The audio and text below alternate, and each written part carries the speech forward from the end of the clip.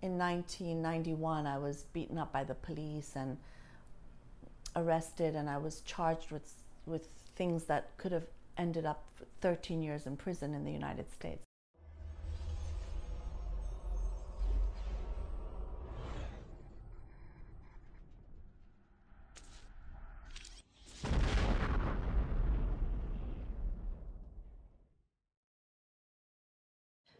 My name is Maryam Namazie, and I am the spokesperson of the Council of Ex Muslims of Britain. Well, I don't. Ha- I don't have any religious influences because uh, I suppose I grew up in a secular family. So even though I was born and raised in Iran and my family was Muslim, um, we didn't really celebrate religious holidays. I didn't have to wear the veil. I didn't pray. Um, and so I don't think um, religion had a great influence on me. I only really became aware of religion when um, Iran, you know, changed and uh, an Islamic movement came to the forefront. Prior to that, Islam was, you know, something in the background maybe, and not something that I thought very much about. I mean, Islam. Came, I became aware of Islam really um, in the sense of as a negative force uh, uh, when uh, there was the rise of the Islamist movement in Iran. So uh, during the revolutionary period, it wasn't an Islamic revolution in Iran, uh, but when the Islamists started trying to take power. And uh, changes that came about as a result, whether it was um, in our school, in the way we were supposed to dress. That's when I became aware of Islam. And for me, it's, you know, fundamentally such a negative, violent sort of uh, force. Um, so from having no sort of relationship with it, in essence, not really thinking about it, it became something very predominant and something very ugly in my life. And I think it's from then that I, I came face to face with it and, and realized it's not something positive, you know, that it, it, had a very negative in, influence on me. Well, I mean, uh, you know, when uh, the Islamists started trying to um, take control of the revolution and uh, uh, establish a, a, theocracy in Iran, uh, you know, things moved quite quickly and became quite dark, you know. So for me, it's images of um, executions on TV, um, you know, um, um sort of um, going to school and having um, a sort of Islamist come and separate the boys from the girls because I used to go to a mixed school, um, being um, looked at in a different way because I was unveiled. Um, you know, seeing people who looked angry at me when I was on a school bus, for example, those are things that are very strong images that have stayed with me, you know, of just this anger against, um, and I was a child really, I was 12 years old, so the fact that I was expected to be covered and all is is ridiculous and absurd. But it is that sort of way of thinking, um, and I think when religion comes to power, I think as a girl you you feel it a great deal. And for a while, our schools were closed because they were uh, trying to Islamicize all the textbooks. So I remember meeting at teachers' homes for a short period of time, and then um, my my mother decided, uh, my parents decided that I should go out to study because the schools were closing, and um, it would be better for my education. And so my mom came to take me to India to go to school there, and um, you know I wasn't expecting to leave Iran. I was expecting to go to school. They, then I would return to Iran when the school term was over, but things changed so quickly that we basically stayed in India and we waited for my father to come and my little sister to join us months later. So it, it, it yeah, it's just a very negative thing for me. So, you know, when I hear, um, I don't know, the azan, it, I physically feel ill when I hear it. It reminds me of something so dark and negative. When I see mosques, I do feel physically ill. Um, of course, I don't think I think people have a right to to go to mosques, and obviously, I don't think they should be banned. But personally, it makes me ill. Um, you know that, and it it it all comes back to um, coming face to face with this force in such a brutal, negative way um, when it was such a background non non issue for me really prior to that. My family is Muslim, of course. Uh, my mother was a Christian. She converted to Islam to marry my father. She's Nepalese, um, and um, uh, you know, so we had that sort of mixed family where she celebrated Christmas even though she was Muslim, and we had family members like my grandmother sometimes wore the chador. Um, some of my family members prayed, others didn't.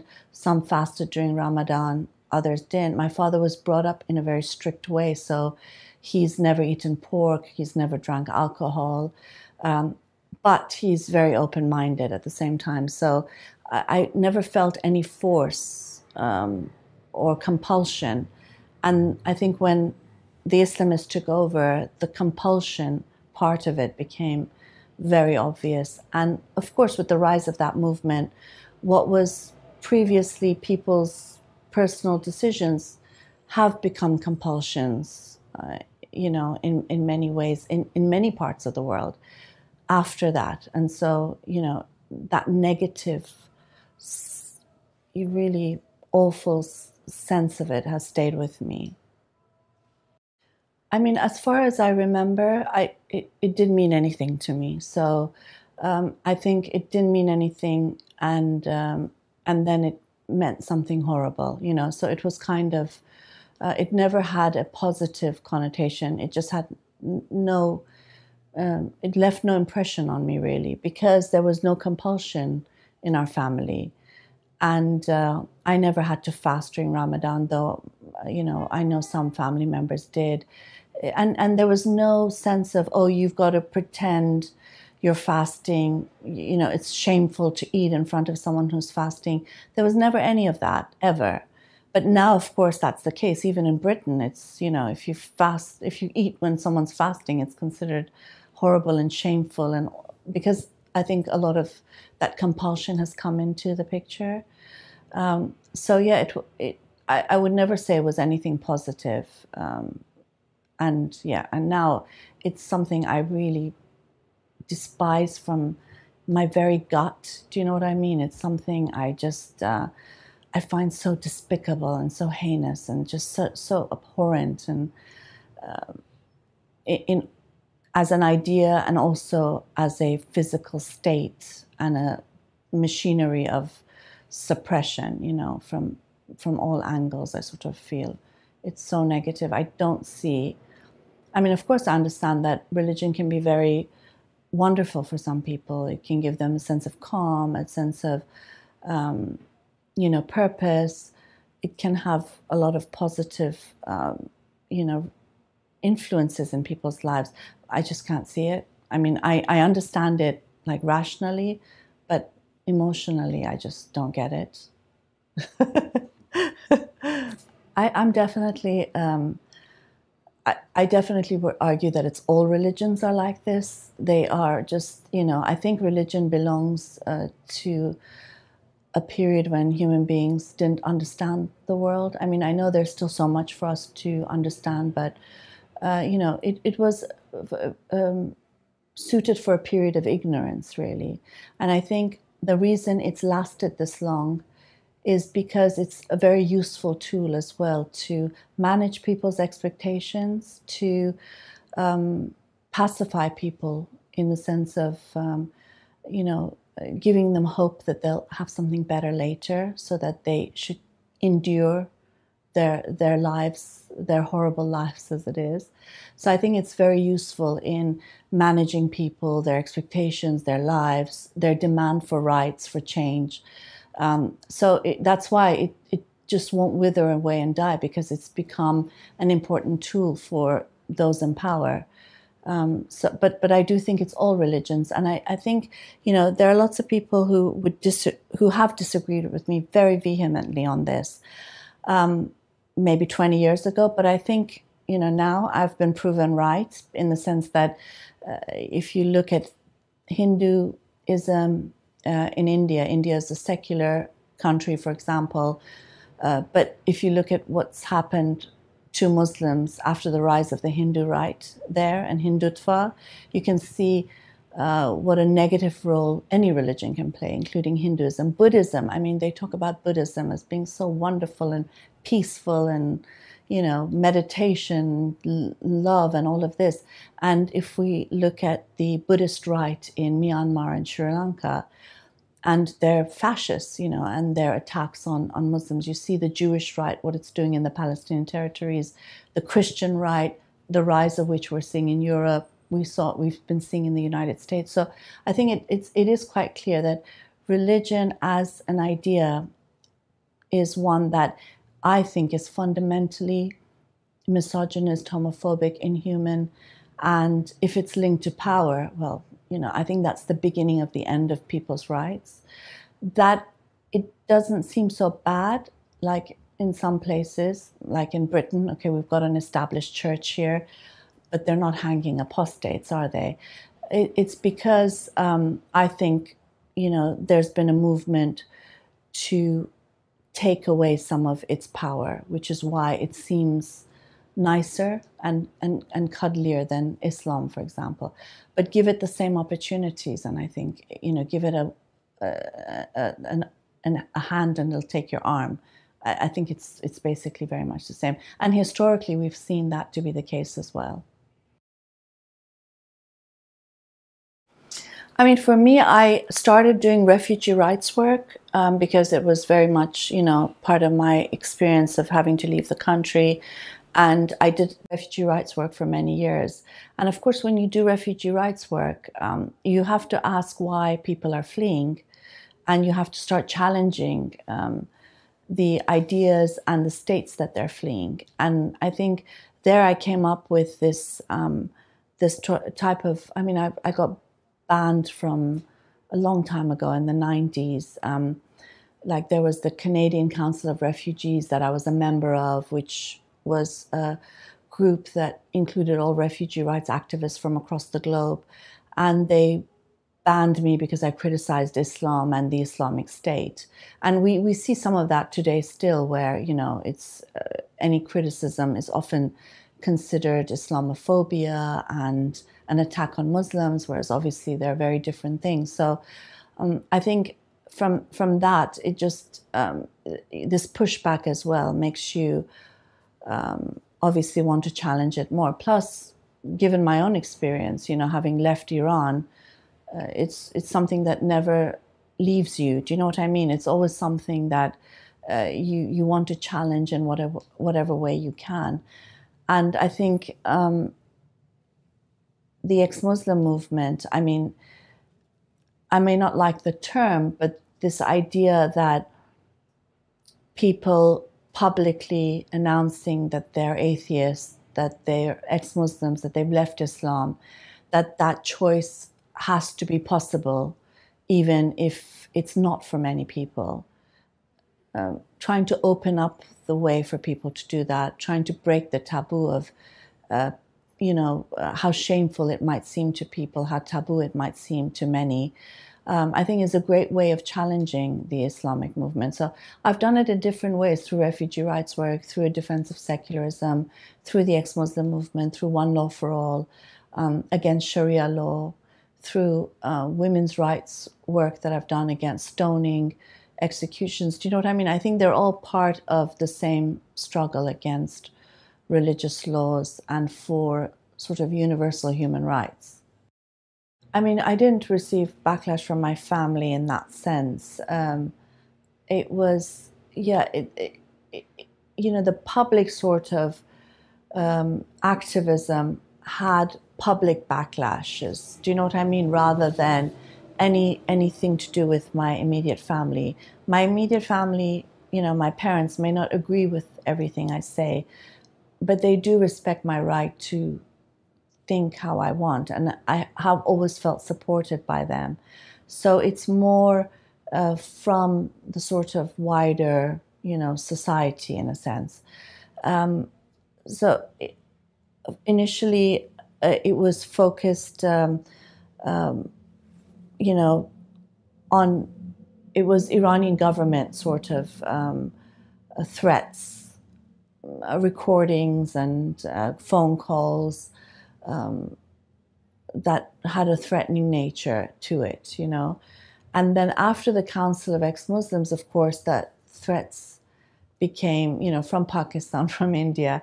I got, you know, an international threat list, which was quite interesting. So, um, yeah, I mean, but I think that's, you know, normal and obvious.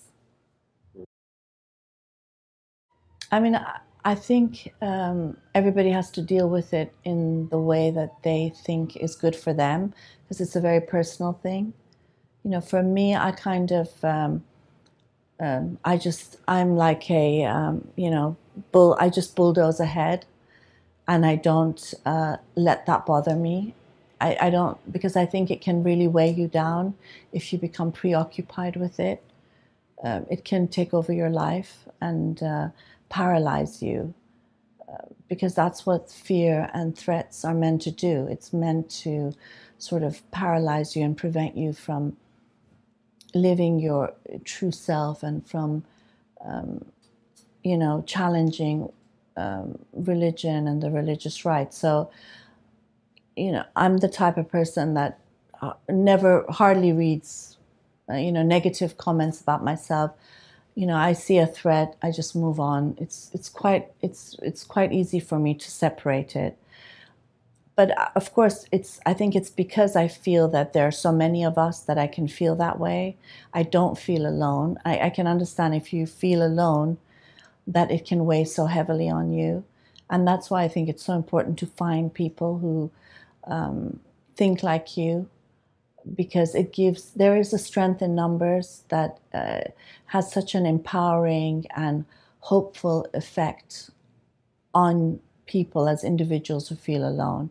And I think one of the things um, that's been important about the Council of Ex Muslims is apart from the fact that it's campaigning against apostasy and blasphemy laws, campaigning for breaking the taboo, making it easy for people to come out, it's also created support and network for those who have left, uh, whether it's via socials or conferences or meetups or support groups. And so I, I think that is really important that you don't feel alone because if you do, you can so easily be broken. And I have seen it. I mean, I've seen people who've left, mm, who've returned because they can't take the pressure, um, and gone to very, very abusive situations, you know because and and you can't blame people because it is hard and it's especially if you lose everyone and everything.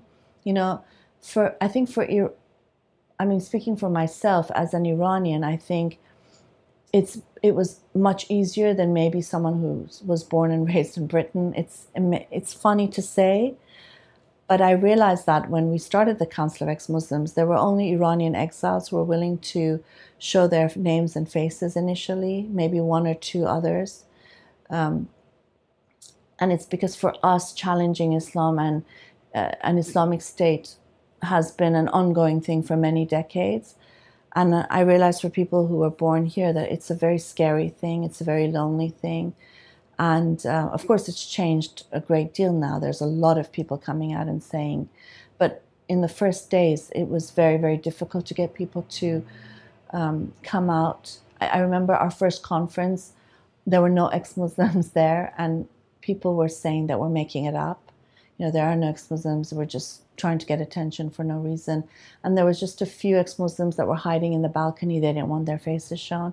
And now, I mean, look at us, there's so many of us, you know. So, um, I think it, it is about opening up that space. But I feel for for me maybe because of that, you know, historical battle against Islam and Islamism that's uh, been ongoing in Iran, that it maybe was easier for me in a way that it isn't for many people.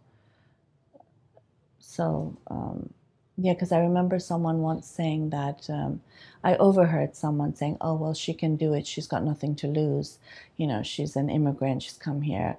Um, she's got nothing to lose." And I kept thinking, well, uh, I've got family in Iran. Uh, you know, it can be very, very. Uh, it is a very difficult thing to do something where you think you might put other people at risk. You know, um, and um, also as an, a migrant, your position is not so stable in a society. You could get kicked out at any moment if you do something uh, when you haven't got your citizenship yet. And now we can see with someone like Shamima Begum, even after citizenship, even if you were born here, you could get kicked out if they, they want to do that. So I think it's easy to make excuses and think it's easier for another person. But I think people have to make a decision for themselves. For me, I felt strong because I felt like I come from a very strong anti Islamic movement in Iran, a very secular movement. So I think it, it's easier for it was easier for me to do it, you know. Uh, of course, women's rights and women's status in Islam. It just, yeah, it maddens me, and I think it's not of course, it's not just Islam. It's I think religion's view of woman is so dehumanizing and so fundamentally misogynist. And I think with Islam, you see it so clearly because, you know, um, women are sort of the most visible aspect of a theocracy and Islamic rule, or any sort of um, when there's um, when it has hegemony, even in a family the first thing you see are how women are treated. It's it's a very visible uh, demarcation of a sort of very suppressive, oppressive environment, and um, it's in your face. Do you know what I mean? In a way that many other things might be more subtle, but with women, I think it's so in your face, and uh, and it's so discriminatory because you know, as an atheist, for example you can be an atheist without people knowing you're an atheist, but they will always know you're a woman, you know, and there are these expectations uh, that weigh down on girls and women to such a great extent. Plus, of course, uh, all the laws and rules, you know, that you're half worth half of a man, that um, an unveiled woman is the source of fitna and chaos in society that everything from an earthquake to rivers running dry is because of badly veiled women. You know, it's this constant um, and, and the sort of the modesty culture. Um, and it is really an extension of rape culture, you know, that if you're not modest enough, then we're not to blame if you're um, attacked in the street and raped. And I mean, that's actually, um, I had a debate with um, the head of the Muslim Council, Muslim Association of Britain in Parliament on Sharia law. And he was saying that, you know, the reason you have stoning laws is because, uh, no, sorry, the reason you have gender segregation is because if you don't segregate the sexes, um, then if there is any sort of adultery that takes place, then you've got to stone women to death. So isn't it better that you have the segregation and you have women veiled so that you can keep uh, the sexes separate and you don't have to stone anyone to death? Which is just, you know, the, the, the thinking behind that is just so disgusting, really. But yeah. I think, you know, progressive Islam is an oxymoron, really. I mean, it's like religious education. I mean, religion is dogma, education is about analyzing and critical thinking. I mean, they're oxymorons, they're antithetical to each other. Islamic human rights, you know, progressive Islam.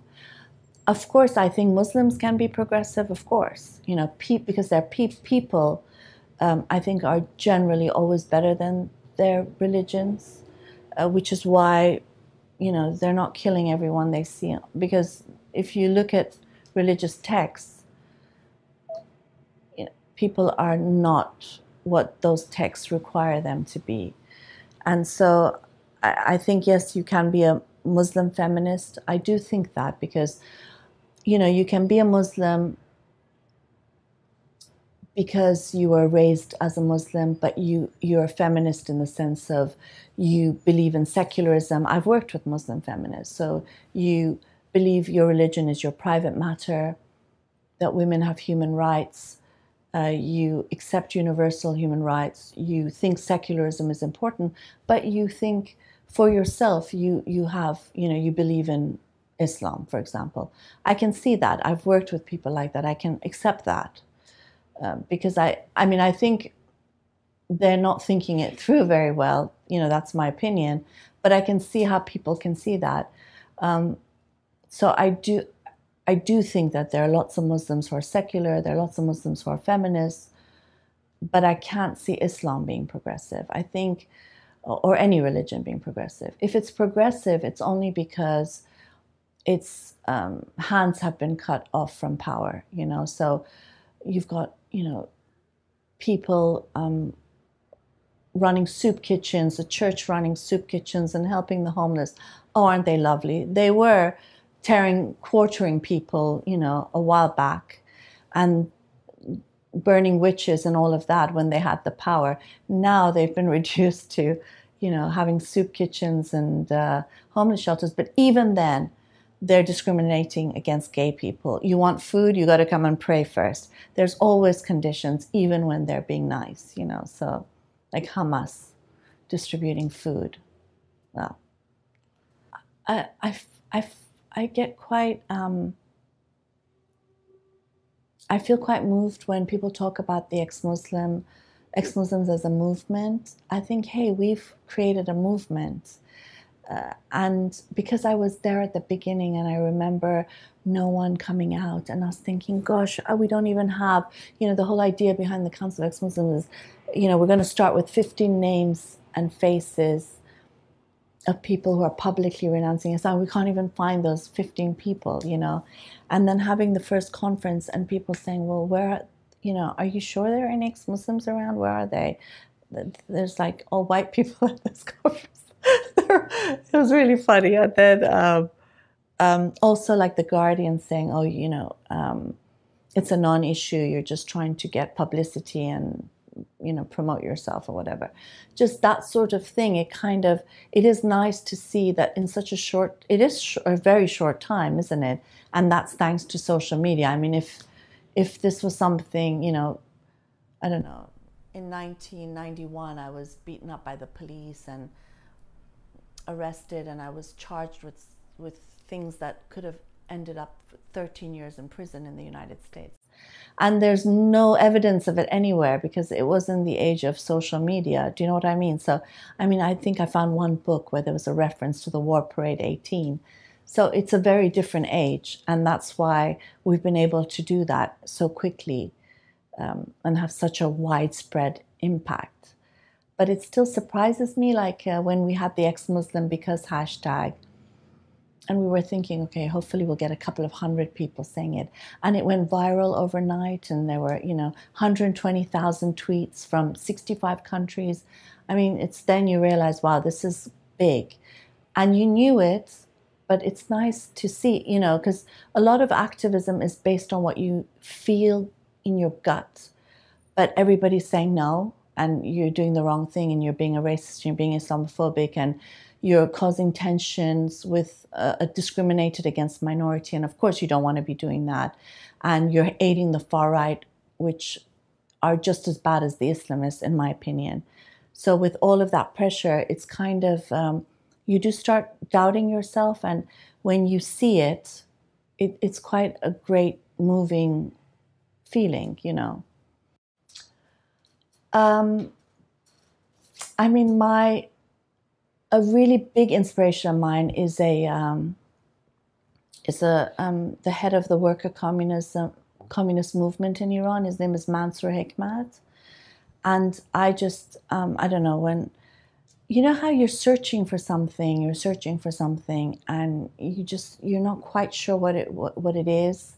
This was in the '90s, and uh, um, you're not quite sure what it is, you're not quite sure what you're looking for, and then you find it, and it's like this eureka moment. That's how I kind of I went to Turkey um, with actually money that I got from the police after taking them after filing a grievance against them for police brutality.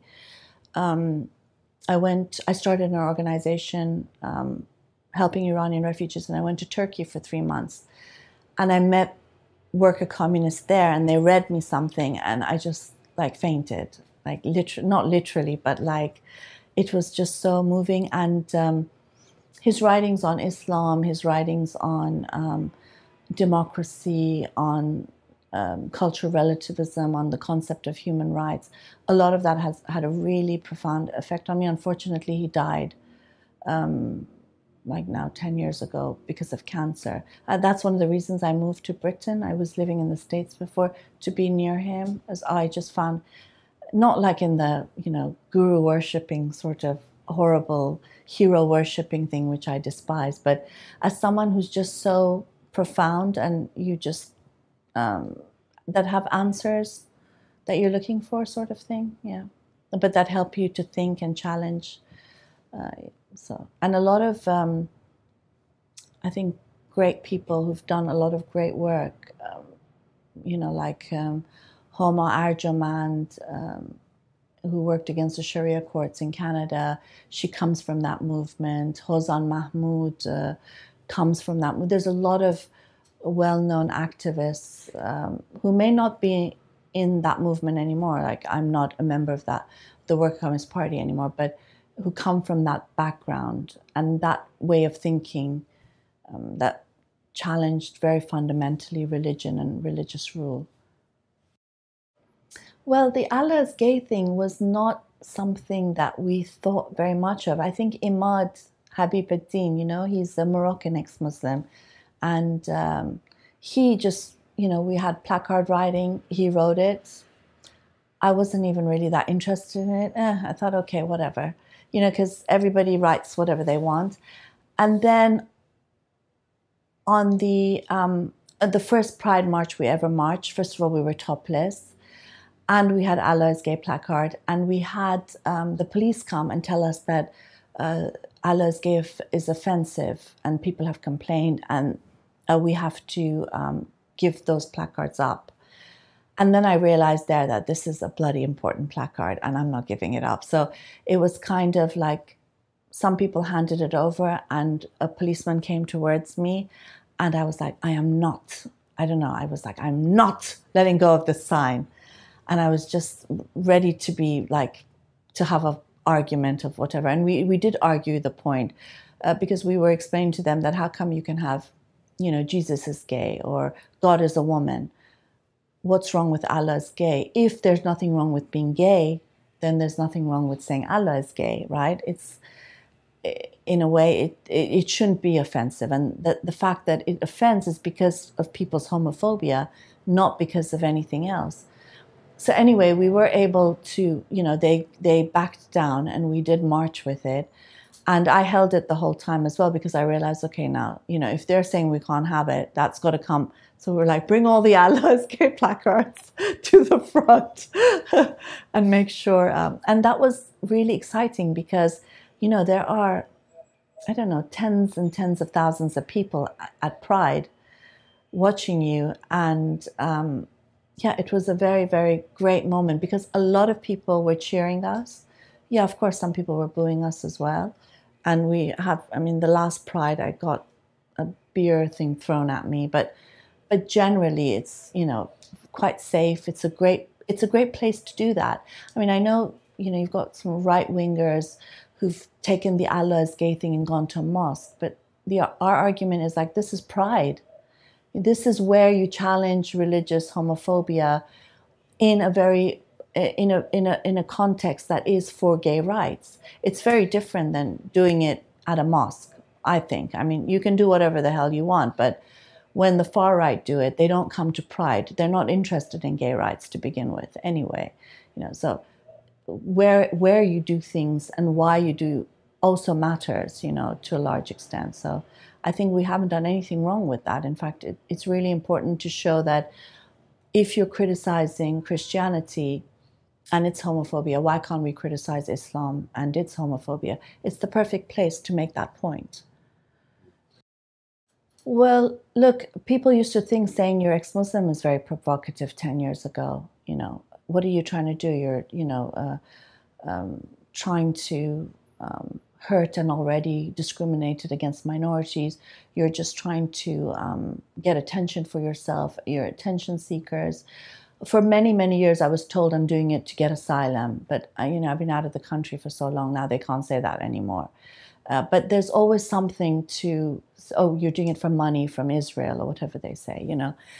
And I guess the point is that um, tell me one movement that made fundamental change in people's lives throughout history that wasn't provocative. Because, you know, it's going against the status quo. Obviously, it's going to be provocative because it's going against what is considered um, the norm. If you do that, you are provocative by definition because you're doing something that isn't permissible, that is, you know, that is taboo, that is uh, looked down upon, and um, you know, were the were the civil rights activists not considered provocative when they tried to sit at a white only diner? Why don't they just go sit in their own? Go sit at the back of the bus. Go sit um, in your diners, black owned diners? Why do you have to come and sit in white seats? You know, or the suffragette movement. Why do women need to vote? They want to vote so they can rule rule over their husbands. I mean, have you seen like the propaganda against the women suffragettes um, at the time? You know, so it's it's it's part of the territory, you know. And uh, okay, I agree. Not everybody likes it. Well, Nobody's asking you to do it. I'm doing it. If you want to do it, do it. If you don't want to do it, you do it your way. But there, there has to be space for pro- provocation and a space for opening up, you know, the the um, the space for people. You can't open up space um, by being silent, by being, um, you know, subservient. You can't. You know, and I remember initially when we started the Council of Ex-Muslims of Britain, there were a lot of ex-Muslims who were critical when they came out of the woodworks, you know, who were critical of uh, CEMB um, because they just wanted to go to a pub and meet like-minded people, and that's great. We've we um, also helped to establish that, you know. But my argument was, you can only go to the pub today as a group, how come you've only started doing it after the Council of Ex-Muslims was established? You, how come you never did it before? Because you couldn't do it before, because there was no space for you to do it before.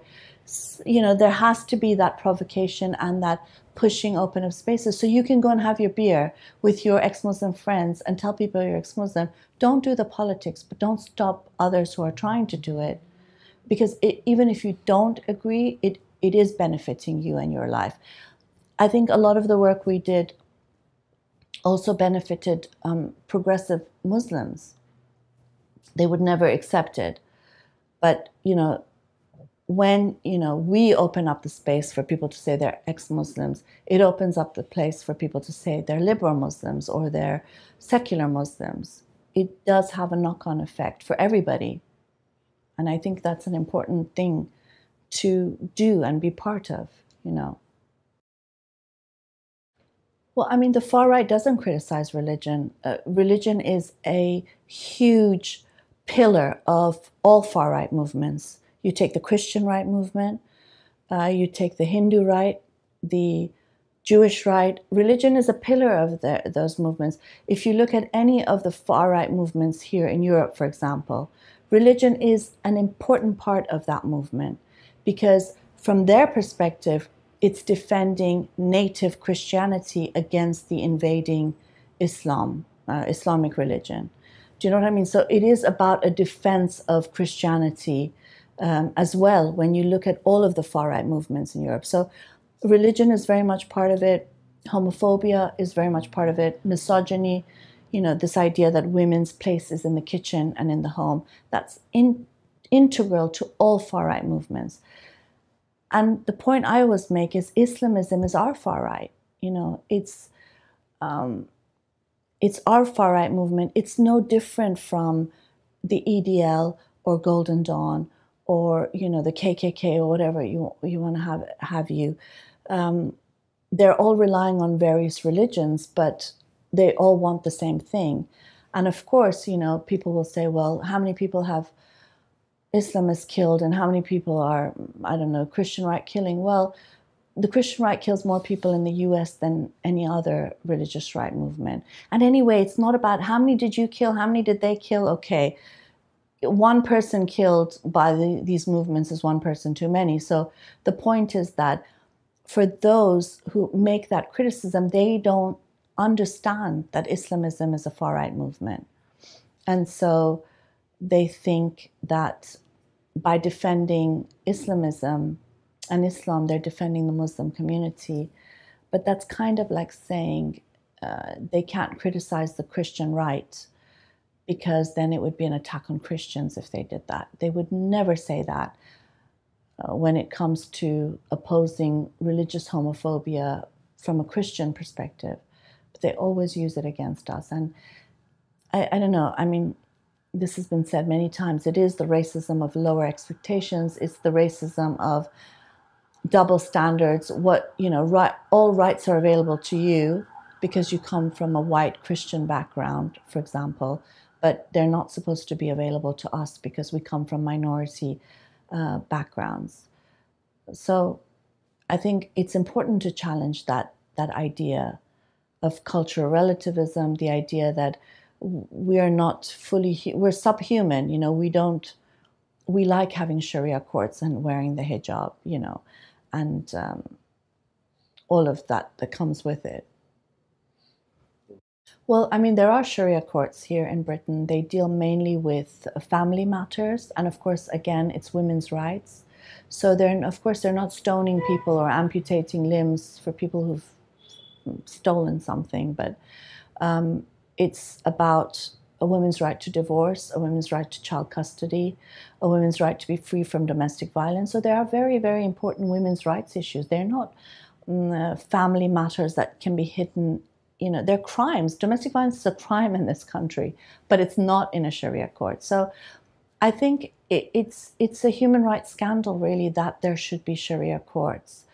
And of course, it's useful, as I said before. You know, religion is very useful to control and manage um, the the you know Muslim minority community, uh, handing over this community to its community leaders and to the court, Sharia courts, let them mediate, let them manage, but it's at the expense of women's rights, you know. And the fact of the matter is that in these courts, a woman's testimony is worth half that of a man's.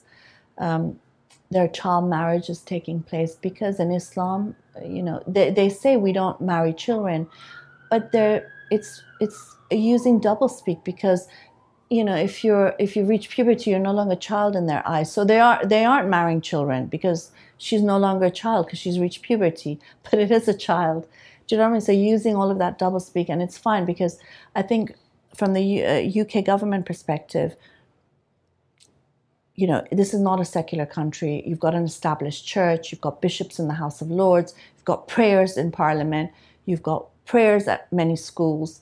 And so um, they you've got Jewish Beth Dins as well. They don't want to rock the boat, and which is why every sort of investigation into Sharia courts and a lot of evidence we've given as One Law for All in, with this coalition of women's minority women's groups that we're involved with, really scandalous information about their links with the Islamist movement. Uh, the the decisions that they're making, even things that they've removed, but we've got screenshots of because we've done a report many years ago about it you know, and nothing's happened, nothing's come to light because they're quite happy having these courts. Uh, well, if people want to go, they have a right to go. Okay, yeah, I, I mean, there are people who um, are quite happy to mutilate their daughters. There are uh, people who are quite happy to live, um, I don't know, to accept stoning, for example. It, it I think it, it's not when you're dealing with rights, it's not about your personal preferences. It's about you know, this fundamental right that every citizen has in a country, irrespective of their background and beliefs. And if you can have a Sharia court tomorrow, you can have a loya jirga. What about the tribal courts where, you know, something happens, then they've got, you know, 10 people raping the sister of that family. I mean, where does it end? You know, and and have you noticed how it's always against women as well? Because they're such easy pawns all of these courts, from the Beth Din to the Sharia courts, their focus is on women. Uh, because don't forget, men have the right to divorce unilaterally. You say talaq three times, it's done. Why do women have to go to Sharia courts? Because um, the husband's not giving them a divorce. But our argument is 40 years ago, they didn't need to go to Sharia court. Why do they have to go now? Again, it's linked with the Islamist movement. Anyway, it's just a big mess, a big mess, but we've got to just keep chipping at it, away at it. And we've had quite a few successes. I mean, um, Universities UK had issued guidelines saying that if a speaker wants the hall to be gender segregated, the university has to comply.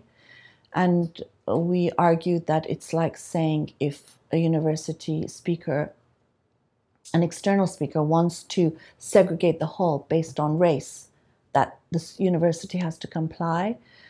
That's racism, gender segregation, and sexism, and Universities UK withdrew their guidelines. We also had um, the Law Society issue guidance to lawyers about Sharia compliant wills. Very matter of factly saying, well, women get much less, and you know, if you're a bastard child, they use illegitimate child. They use that term, imagine, you know. That's not even used now uh, legally in this country. Uh, and again, that, that note was withdrawn. So we've had, uh, you know, successes and we've um, raised awareness about what's happening in the courts, but there's no political will. Um, you know, and you just, just got to keep going and hopefully someday things will change, you know. So I think there are lots of reasons why people begin to have doubts and leave Islam. I think actually we could say there are as many reasons as there are people because it can be quite personal to you. You know, it could be things that trigger it. You know, for me, it was um, um, Islam is taking over in Iran. For someone else, it can be an abusive family uh, for someone else, it could be because um, they're forced to wear the veil. For someone else, because they're gay and their family is homophobic. Um, for some, it was 9 11. Um, for others, it's um, mm, the rise of jihadism or, you know, the Islamic Society at their school. There's so many reasons why people uh, feel doubt. I think what's important is for people, whatever the reason for why um, they decide to leave. It could be they're disgruntled or they, they see through the Islamist movement they belong to. You know, they're extremists or well, there's a million different reasons. I think the main thing is to realize you're not alone because whatever the reasons, people come to a point where they don't want to be part of um, the so-called community anymore you know? And i think what's important then is for people to realize one that they're not alone. They're not insane. Uh, that it's a very normal natural thing. And in a lot of places people change their mind and it's not even you know they don't even bat an eyelid because they've changed their mind. Well you know i'm going to dabble in buddhism. I'm going to um, become a spiritual, whatever new age nonsense is out there. But you know, so it's it's because there's all this sort of compulsion involved that it makes it so difficult, and that's why I think challenging those power sources is so important as well. And for people to know that they're not alone, I think that's really key. I think every ex Muslim was at one point a doubting Muslim. And um, I find it, I kind of find it sad when uh, doubting Muslims have to come to us because they don't have other Muslims that they can speak to uh, in a lot of instances, and they have to come um, to our web forums, to our socials, to our events in order to discuss their doubts and their questions. In a way, it's very good because it shows that it's a space where people can feel free to talk and um, to question.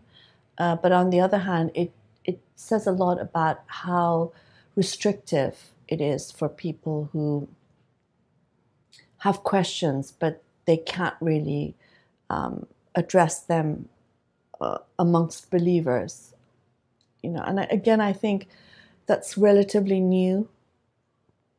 It's um, because of this contemporary Islamist movement that's been on the rise, that's created havoc in many countries. You know, even the, the, the establishment of Sharia law is new relatively in many of the countries in the Middle East and North Africa. You know, it's it's been 40 years we've had Sharia law in Iran, for example.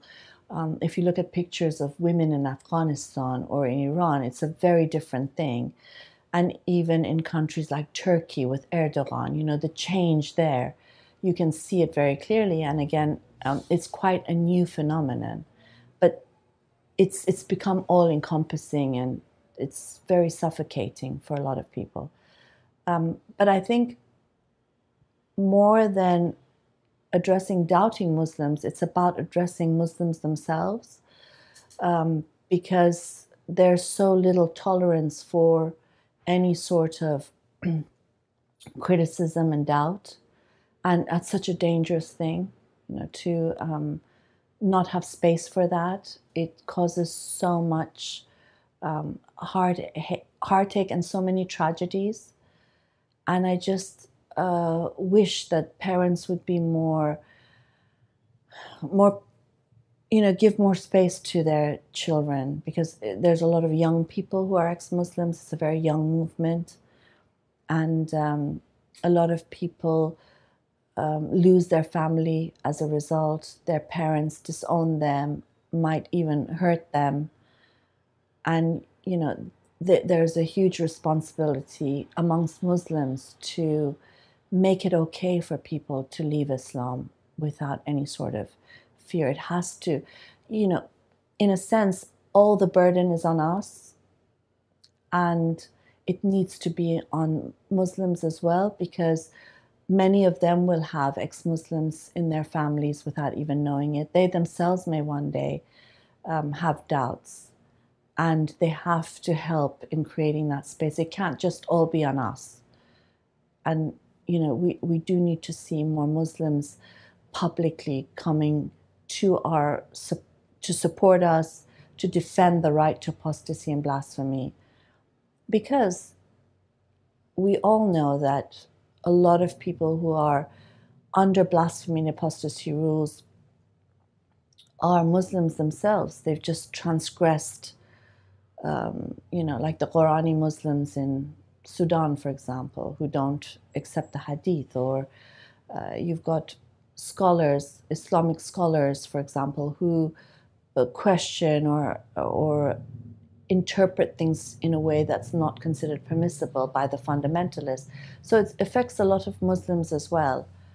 And um, I think, you know, it's always better to live in a society where you have differences, you're able to have differences of opinion. It's safer. Uh, you know, there's more space for everyone. I think a lot of Muslims will agree that it's better to live in Britain than to live in Saudi Arabia. You know, I think most people would agree with that. But with that comes a burden of responsibility um, and a defense of rights of people other than your, your own group. And I feel like we ex Muslims have done a lot of, I feel personally, I spend a lot of my time defending Muslims.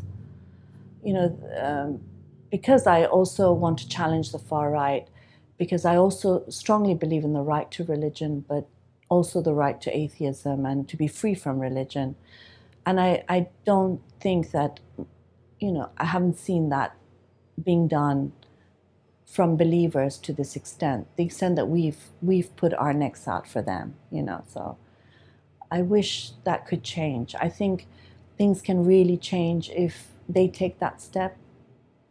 And and and I think a large majority are very good people who might quietly agree with us but don't want to rock the boat. But they're going to have to do it if we're going to be able to make some fundamental changes